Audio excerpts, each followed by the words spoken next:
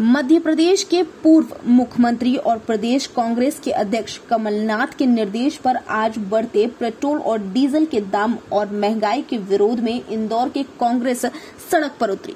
कांग्रेस नेताओं ने मधुमिलन चौराहे से लेकर रीगल तिहारे तक पैदल मार्च निकाला।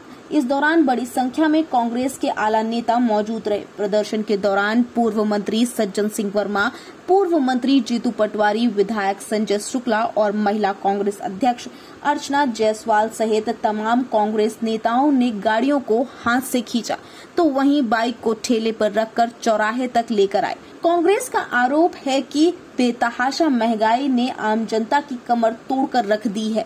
आज पेट्रोल डीजल के दाम सौ रूपए से ज़्यादा हो चुके हैं तो वही रसोई गैस सिलेंडर के दाम एक हज़ार रूपए तक पहुँच चुका है।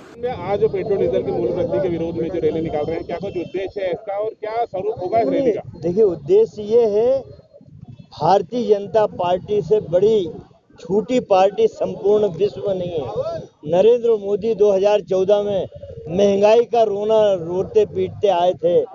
है, महँगाई बड़ी हो गई है और ये हो गया। और हम ये कर देंगे, हम बाबा रामदेव, अन्ना हजारे गुफा से निकल निकल के आ गए थे, अन्ना हजारे भी गुफा से और बाबा रामदेव गुफा से।